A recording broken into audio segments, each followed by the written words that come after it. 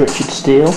This is the 17th of the 7th, 2005. I just want to get a video reference of my uh, testing of the upper eyelids for the Johnny 5 project. Currently this is running from no controller, only from the printer port of a computer. So if it's a little bit jittery, that's the reason why. You'll notice that the left hand servo is also a bit jumpy, that's the actual servo itself.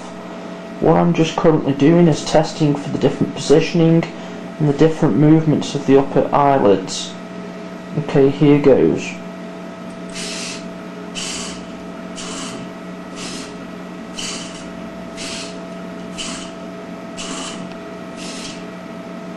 As you can see the movements were accomplished quite easily.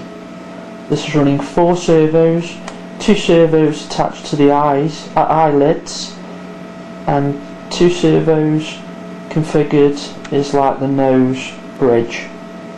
Okay, just run through that again.